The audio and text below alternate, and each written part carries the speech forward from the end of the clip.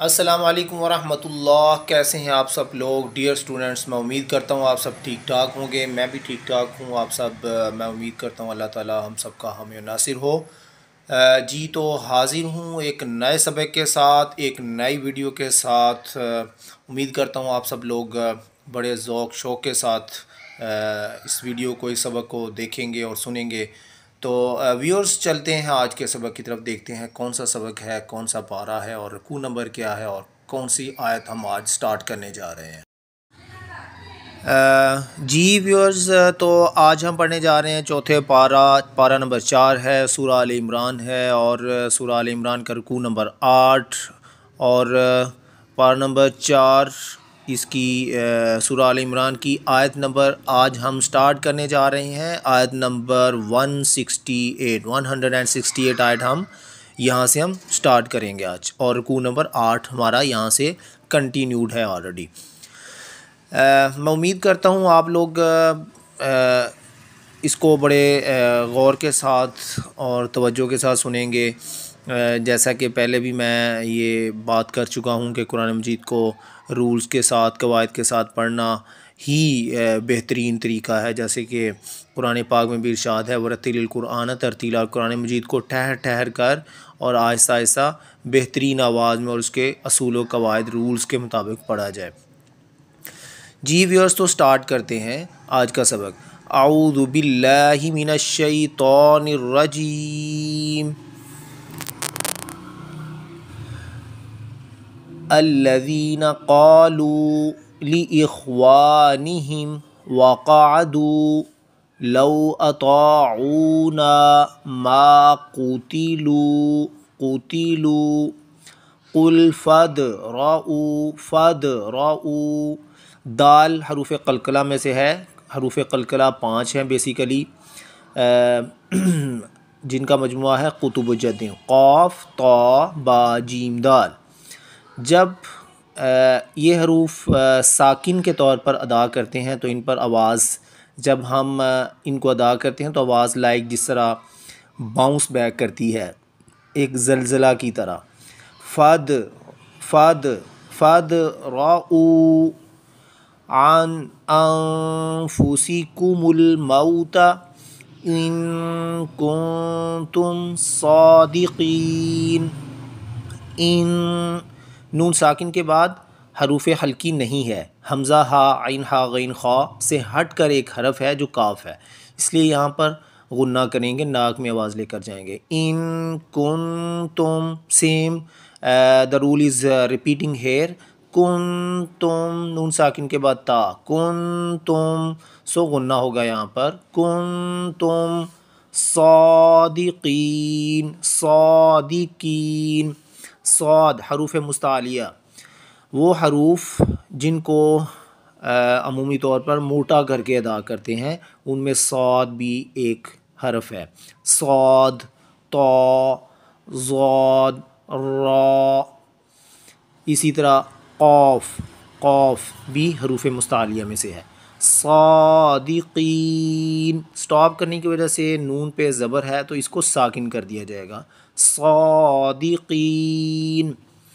वला तहसबन्नल्लज़ीन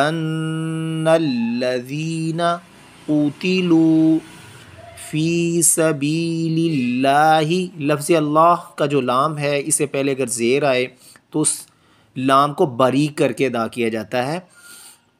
जैसे यहाँ पर ये मौजूद है। लाम, लफ्ज़ अल्लाह के लाम से पहले ज़ेर है। सबीलिल्लाहि अमवाता। ये अगर यहाँ पे वक्फ़ नहीं करेंगे तो अमवातन है ये।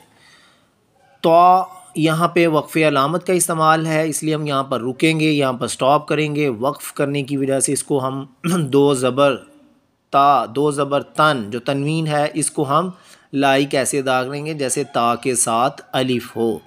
अम वाता बल अहया उन, या, अलिफ ज़बर मद, ये मद मुतसिल है। इसको चार फिंग फिंगर्स हमारी क्लोज़ होती हैं। हम उनको वन बाई वन करके ये के बाद दीगरे ओपन करते हैं। तो इन चार का फ़र्स्ट से लेके फोर्थ फिंगर तक का जो ड्यूरेशन बनता है, उस ड्यूरेशन के इक्वल इस या को, इस मद को हम स्ट्रेच करके, लंबा करके खींच कर अदा करेंगे। आह या उन रबिम युरज़क़ून, रा, हरूफ मुस्तालिया, मोटा करके अदा करेंगे। युरज़क़ून, फ़ारिहीना बीमा मद मुनफसिल। तीन फिंगर्स के इक्वल इसको स्ट्रेच किया जाएगा। बीमा आता आताहुमुल्लाहु। लफ्ज़ अल्लाह के लाम से पहले ज़बर या पेश का इस्तेमाल हो तो उस लाम को मोटा करके अदा करेंगे। मुँह को भर कर अदा करेंगे। मोटा मीन्स मुँह को भर कर जैसे मुँह में हवा भरी हो। आताहुमुल्लाहु। मिन फजलिही मिन फजलिही, ये कायदा पहले भी रिपीट कर चुके हैं और इसका बहुत कसरत के साथ इस्तेमाल है नून साकिन के बाद। हरूफ हल्की का ना होना, वहाँ पर गुन्ना किया जाएगा। मिन फजलिही वयस तब शिरून तब हरूफ कलकला, बा बासाकिन तब शिरून बिल्लजीना लम यलहक़ू बिहिम मिन, मी मुशदा या नून मुशद्दा हो, वहाँ पर नाक में आवाज़ लेकर जाते हैं, गुन्ना करते हैं। बिहिम मिन, नून साकनी पर खा हरूफ हल्की से आ गया, सो यहाँ पर हम गुन्ना नहीं करेंगे। बिहिम मिन खलफ़िहिम मिन खलफ़िहिम, मिन ऐसे अदा नहीं करेंगे। यहाँ पर नून साकी बाद हरूफ हल्की का खा है। हमज़ा हा, आइन हा, गैन खा। खा यहाँ पर है, इसलिए यहाँ पर गुन्ना नहीं करेंगे। मिन खलफ़ीहिम।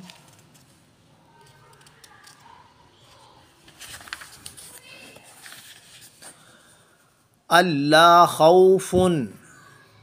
खौफुन। फ़ुन अगर तनवीन को अदा करें, फ़ुन, फ़ा, पेश, नून, फ़ुन। फ़ा, पेश, नून, फ़ुन। लाइक फ़ा, दो पेश फ़ुन बनता है तो इसको अगर हम लफ्ज़ की सूरत में लिखें तो फ़ा, पेश, नून, फ़ुन बनता है तो नून साकिन आ रहा है एंड पे।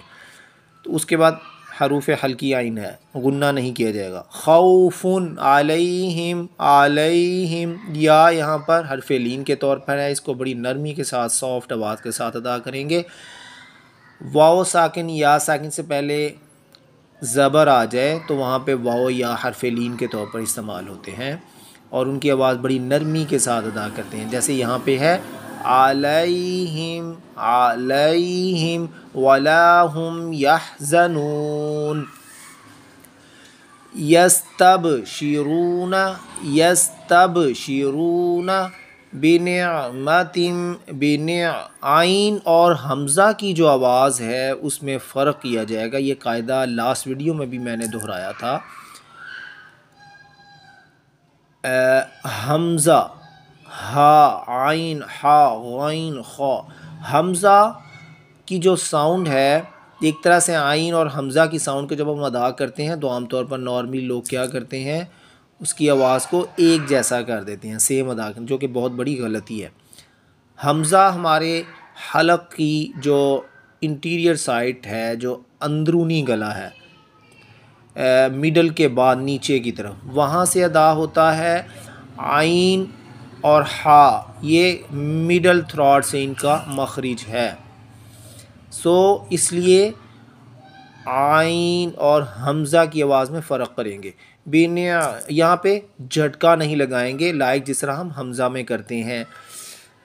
जिस तरह अगर हम हमज़ा को अदा करें तो हम पढ़ते हैं आ आ आ इस तरह हम झटके के साथ, जैसे लाइक जिस तरह ब्रेक लगाई जाती है गाड़ी को, उसकी तरह। आइन में लाइक इस तरह नहीं है, इसको नरमी के साथ अदा करेंगे। बिनमतिम बिनमतिम तिम तनवीन के बाद मी मुशद्दा गुन्ना किया जाएगा। बिनमतिम मीन अल्लाह लफ्ज़ अल्लाह के नाम से पहले ज़बर इसको मुँह को भर कर मोटी आवाज़ के साथ अदा करेंगे। मीन अल्लाही वफ़ली ला अजरल अज, जीम, कुतुब जद्दिन, हरूफ कलकला का जीम है। अज अज, आवाज़ बाउंस बैक करेगी, ऐसे लर्जा खाएगी आवाज़ इसको अदा करते हुए।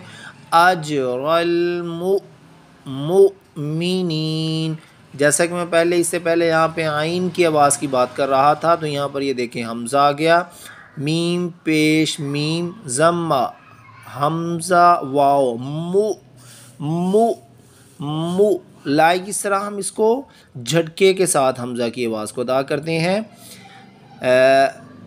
अजरल मु, मुमिनीन। नून साकिन कर देंगे वक्फ की वजह से। यहाँ पर आयत नंबर 171 कंप्लीट हो रही है। हम नून ज़बरना नून फ़तहा फ़तहा, नून फ़तहा ना, इसको हम साकिन करके अदा करेंगे। अजरमिन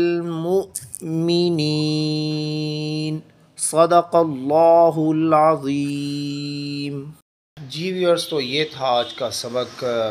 आपने सुना होगा, मैं उम्मीद करता हूँ, मैं अल्लाह ताला से भी दुआ करता हूँ कि अल्लाह ताला हम सबको कुरान पाक को सुनने, उसको अच्छे तरीके से पढ़ने और पढ़कर आगे दूसरों को सिखाने की भी हिम्मत और तोफ़ी फ़रमाए।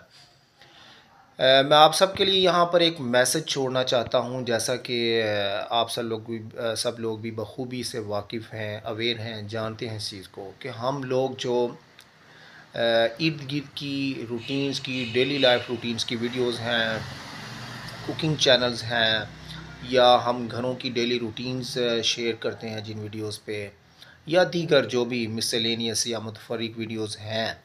हम ऐसी वीडियोस को, ऐसे चैनल्स को बहुत बहुत बहुत शौक़ से देखते हैं। और इवन के थाउजेंड्स में मिलियंस में व्यूज़ होते हैं। और अगर आप जाके वीडियो को देखें नो डाउट उसमें वीडियो इंटरेस्टिंग होती हैं बट ऑल इन वेन उसमें ऐसा कुछ फ्रूटफुल नहीं होता आपके लिए कुछ ऐसा यूज़फुल नहीं होता लाइक like, आप जहाँ पे कुरान पाक को पढ़ने जा रहे हैं आप नॉलेज की बात कर रहे हैं आप किसी लेक्चर को सुन रहे हैं किसी मोटिवेशनल लेक्चर आपका कुरान मजीद का लेक्चर है किसी हदीस की किताब का लेक्चर है आप कुछ स्कूलिंग है, कोई सब्जेक्ट है फ़िज़िक्स है केमिस्ट्री है मैथ है लाइक एंड एक्स्ट्राज कुछ भी ऐसा हो, आप उसको सुनने के बाद आपके लिए वो बड़ा यूज़फुल होगा। आप नॉलेज गेन करेंगे, आप लर्न कर सकते हैं, आप फेलोज़ को, अपने पीयर्स में वो चीज़ें शेयर कर सकते हैं। जबकि जिन वीडियोस का मैं मेंशन कर रहा हूँ, ऐसी वीडियोस को देखने के बाद आप वक्ती तौर पर टाइमली टाइम पास एक तरह से कर रहे होते हैं और जस्ट घर की वीडियोस देख लेना या शॉपिंग वगैरह कर ली किसी ने उन्होंने दिखा दिया कि वीडियोस पे आपने वो देख लिया। ठीक है देख लिया गलत नहीं है लेकिन but wastage of time we can say wastage of time तो है ना। इसमें तो कोई दूसरी राय नहीं है। सो so, मैं आपसे रिक्वेस्ट करना चाहता हूँ कि वीडियोस देखें वो भी देखें लेकिन ऐसी वीडियोस भी देखें जिनसे आपको फ़ायदा हो।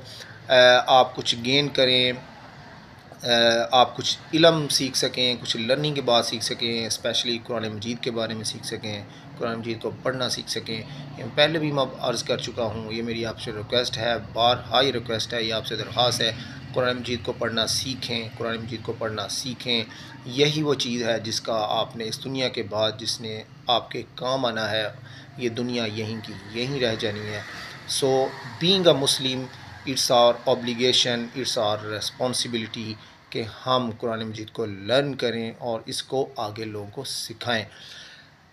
नेक्स्ट वीडियो तक एक नए सबक तक के लिए आ, मुझे इजाज़त दें। एक नए सबक के साथ हाज़िर होंगे एक नए मैसेज के साथ आपके सामने हाज़िर होंगे तब तक के लिए मुझे इजाज़त दीजिए। अल्लाह हाफि